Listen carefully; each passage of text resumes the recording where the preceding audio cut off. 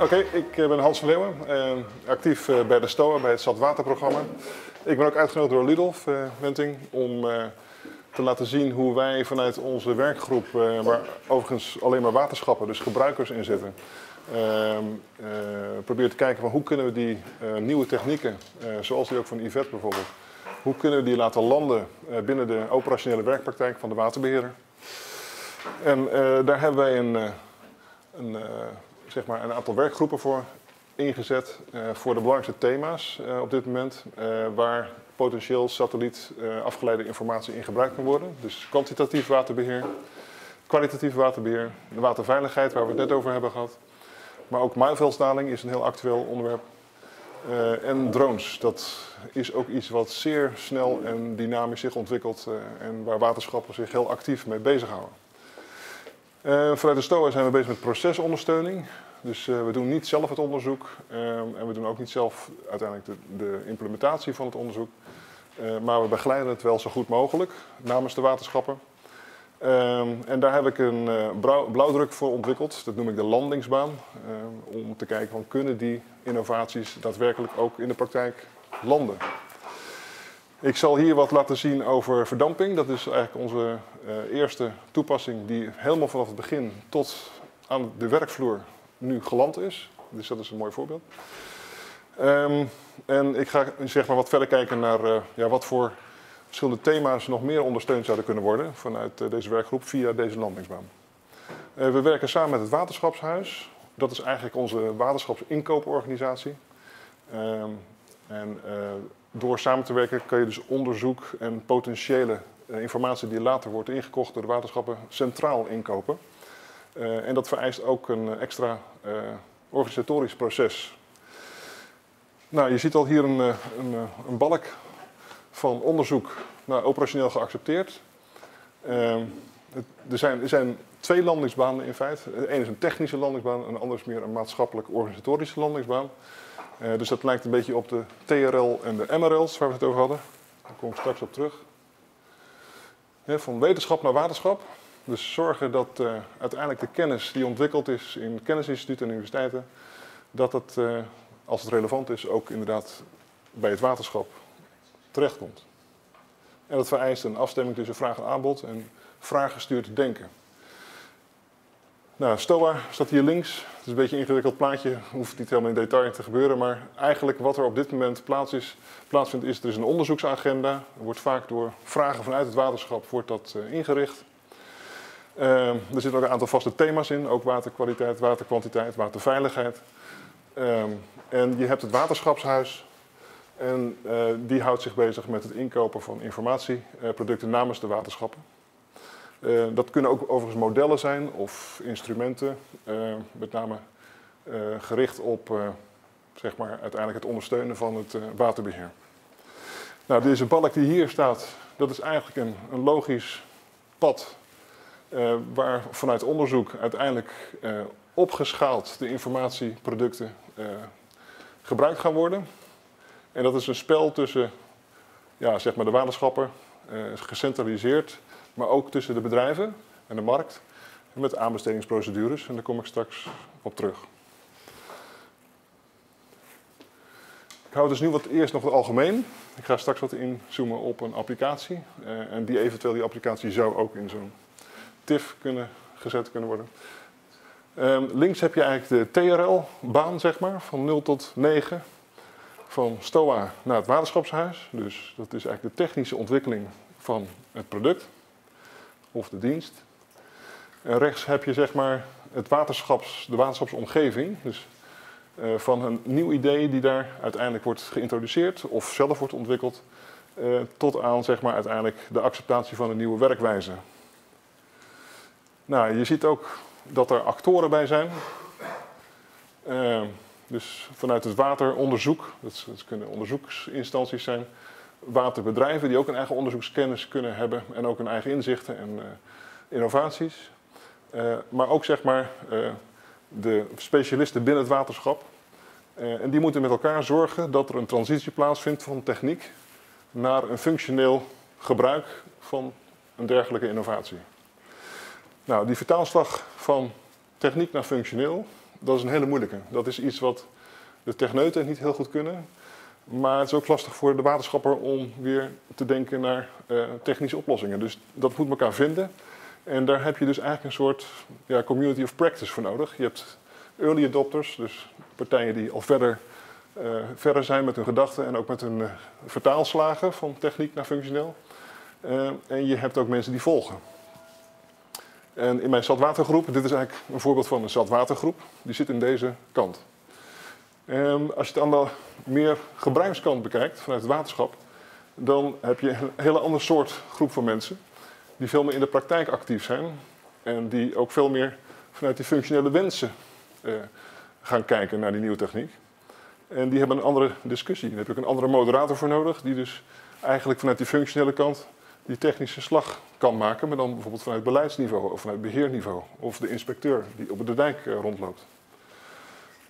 Dat zijn weer andere mensen als hier, want dit zijn hydrologen, dat is een andere afdeling. En dit zijn bijvoorbeeld nou, inspecteurs of uh, hoofden van afdelingen van waterkwantiteit. Nou, en zorgen dat die twee met elkaar gaan praten, dat gebeurt binnen het waterschap. Daar kom ik straks op terug, want straks moet een beslissing genomen worden of die innovatie daadwerkelijk ook duurzaam wordt aangekocht door het waterschap. Dus dan moeten die twee bij elkaar komen. En dan moeten zorgen dat de, hydrologen bijvoorbeeld met de beleidsmakers gaan praten. Dat is ook een cultuurverschil intern. En dit stuk eigenlijk is het waterschapshuis, waar zeg maar, de informatie centraal wordt aangeboden via portals.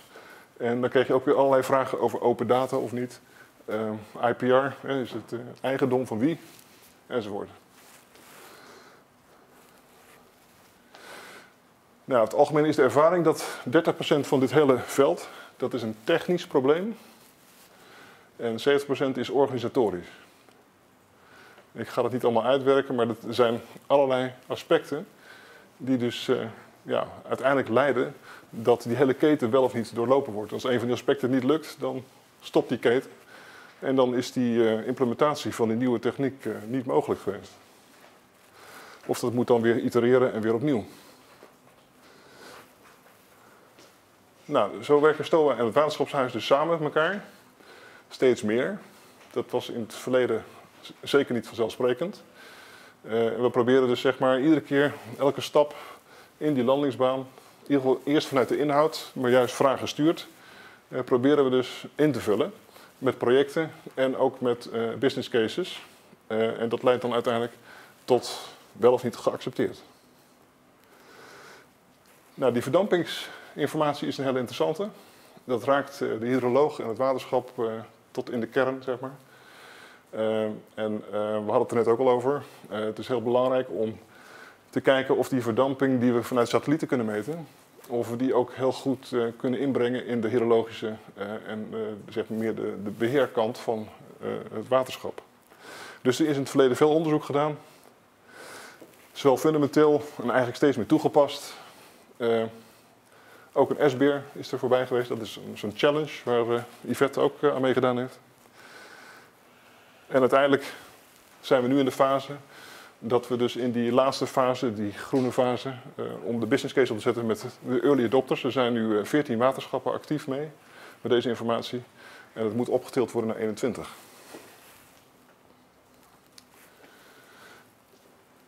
Nou, dit is eigenlijk een beetje het evolutiepad van die verschillende projecten. Zodat het uiteindelijk leidt. Die SBR was heel belangrijk, want uh, daarvoor was een ESA-project, een ESA-IAP-project. Dat was nog iets te technisch. Uh, maar nu is er een fase van, eh, ja, hoe, hoe, ga je uiteindelijk met verschillende oplossingen uit de markt en verschillende consortia, kom je tot een, een oplossing die echt precies past bij die functionele behoeften. Namelijk dagelijkse informatie van verdamping. En dat is niet zo makkelijk, want je hebt last van die wolken. Dus je moet zorgen dat je in die tussentijd dat er wolken zijn, dat je dan met modellen en grond- en basisinformatie en meetinformatie uiteindelijk tot een goed voorspelbaar uh, en gemeten verdampingsverhaal komt.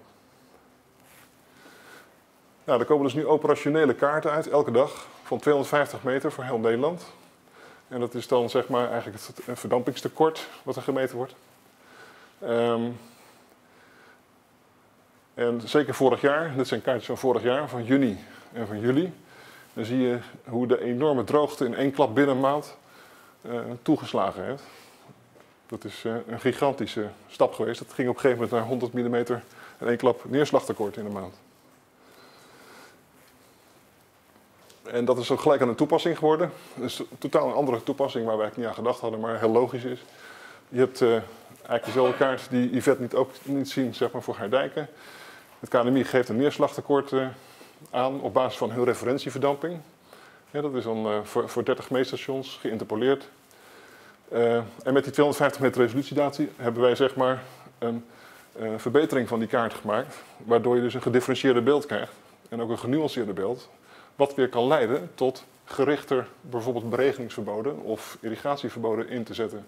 En niet zomaar een heel pijlvak eh, zeg maar, eh, plat te leggen en voor de boeren zeggen van je mag niet meer irrigeren of beregenen. Dus je kan hier gedifferentieerd mee aan de slag. Het is nog niet gebeurd, maar bewustzijn is wel gecreëerd en eh, de waterschappen weten het nu.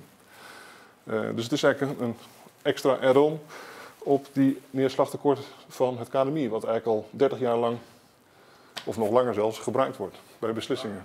Maar maar even op die volgende vraag, inhoudelijk dan? Ja. KNMI gaat pas vanaf 1 april uh, ja hè? Uh, voor mij is het uh, twee dagen geleden heeft het geregend, we krijgen het weer twee weken droog, hè?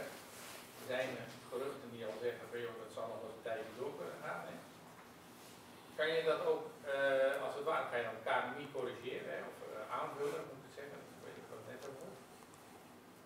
Zou je dat er ook voor kunnen gebruiken? Dat je, want je gaat eigenlijk, je maakt een combinatie tussen een soort neerslagtekort, dus de meteorologisch tekort en eigenlijk de impact voor het gebied, hè, of niet? Ja, nou, daar kom je een stap verder mee, want je moet eigenlijk kijken naar de hydrologische toestand. Ja, Dus-? Nou, daar ga ik nu naartoe. Ja, dit is namelijk... Nee, maar dat je ook waar, Ja. dat je dat eerder loslaat naar de sector dan de 1 april van het KNMI. Ja, we, we hebben hier voor vergelijking, in ieder geval zijn we begonnen ook met 1 april. Zodat we cumulatief ook eh, op hetzelfde niveau vergelijkbaar eh, konden werken. Eh, maar je kan het natuurlijk doortrekken naar de maanden ervoor, of zelfs het jaar ervoor. Eh, maar dan moet je terug naar het hydrologisch systeem. Dan moet je eigenlijk eh, alles sluitend krijgen, want dit is maar één component van de balans, zeg maar, van de hydrologische balans. Eh, dus dan moet je ook zeg maar grondwatersysteem en ja, zeg maar eigenlijk alle elementen van, van je bodem en, je, en je watercapaciteit, de berging in, in gaten houden. Dus, en daar kom ik nu op. Ehm, die bodemberging, dat is een ander traject geweest. Hydrologic leidt dat, heeft dat met Alterra ontwikkeld. Eh, en eh, niet alleen verdamping is daar input voor. Dus zeg maar wat ik net liet zien, dat is de input, een van de inputs voor eh, deze bepaling. Maar ook het, de regenval. Dus actuele regenval en verdamping sturen dit model aan, waardoor dus zeg maar een, een bodembergingkaart ontstaat van hoeveel capaciteit is er nog in de bodem aanwezig om bijvoorbeeld extreme regenval te, te bergen. Maar het zegt ook gelijk iets van hoe droog is het eigenlijk, van, eh, hoe- hoeveel water is er al eh, weggegaan uit het hydrologisch systeem.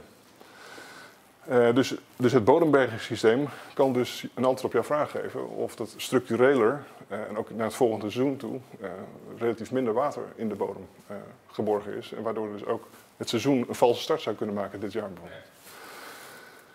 Dus dat zijn al twee applicaties die uit alleen maar de meetdata verdamping, dus eigenlijk een half product, eh, voortvloeien.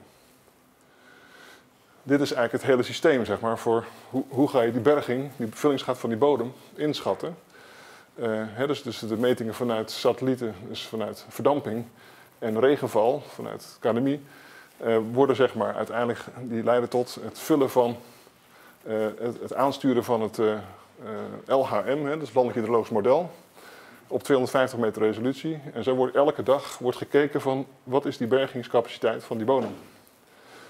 En dat leidt dan uiteindelijk weer tot beslissingen, moet ik mijn sluizen openzetten of niet? Want eh, uiteindelijk eh, hebben we eigenlijk afgelopen jaar hebben we gewoon te veel water laten wegzijgen. Waardoor het gewoon eigenlijk te snel droog werd. eh. Dus als je dit van tevoren beter had gemeten, dan zie je dus die droogte ook aankomen. En kan je dus ook eerder beslissen van nou, ik hou die sluis nog even dicht. Zodat het eh, systeem in ieder geval op orde blijft. Nou, zo doen we dat voor, dat is voor ons een, een, blauwdruk.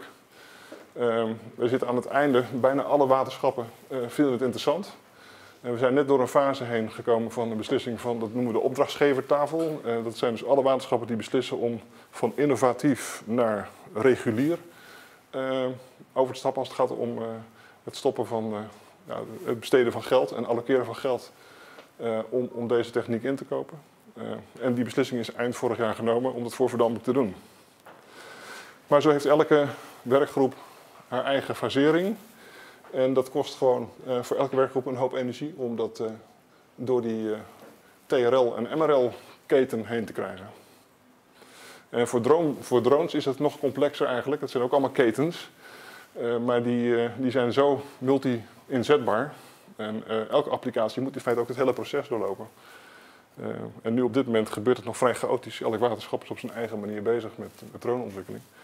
Langs elkaar heen. En we, we proberen met een dronewerkgroep al die kennis en die successen te bundelen. Zodat in ieder geval, samen met Rijkswaterstaat overigens, want die zijn al een stuk verder, om dat netjes, netjes op, uh, in goede banen te leiden. Een belangrijk aspect wat we ook al vaak doen is zeg maar een, voor die drones hebben we een, een marktstudie gedaan om te kijken naar waar gebruik je nou die drones voor. Dus gewoon een beetje een gevoel krijgen van wat is nou de, de belangrijkste behoefte om drones in te zetten ja, dat, dat geeft gewoon inzicht van waar kunnen we dan ook die ketens gaan prioritiseren en waar kunnen we dan die uh, energie opzetten om in ieder geval ook daar blauwdrukken voor te ontwikkelen voor die drone-technologie. Want het is een heel apart, apart vak.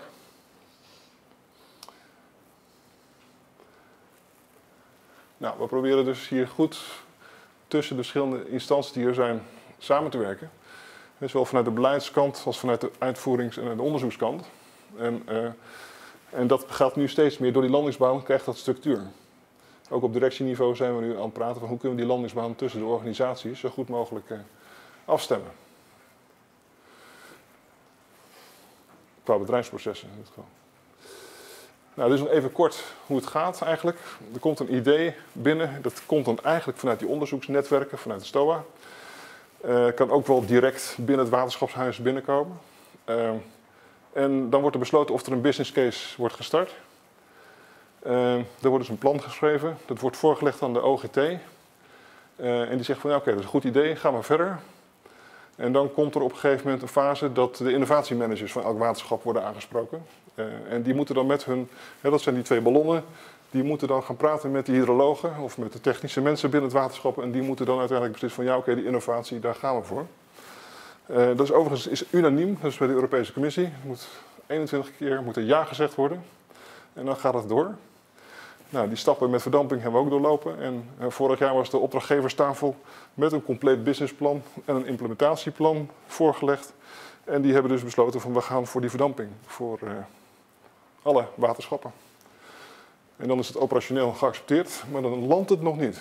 Want dan moet je dus nog uiteindelijk zorgen dat het uiteindelijk die had ik er net over gehad. Dan moet je zorgen dat het uh, ook qua gebruik landt. en dat is niet altijd makkelijk, want de landingsbaan is niet altijd uh, recht, maar kan ook krom zijn. Dus wat we hebben ontwikkeld is een tool om, uh, ik ga de week wat sneller doorheen, maar om bijvoorbeeld interactief gewoon met resultaten tussen de early adopters en de volgers gesprekken, hè, dus die ballonnen te voeren en dan met WhatsApp groepen kijken of we die twee dichter bij elkaar kunnen krijgen. En gewoon laten plaatjes laten zien, een soort kijkdoos.